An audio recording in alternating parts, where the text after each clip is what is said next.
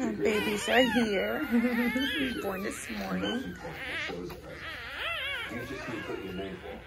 Mommy and babies are doing great. There's four girls and three boys.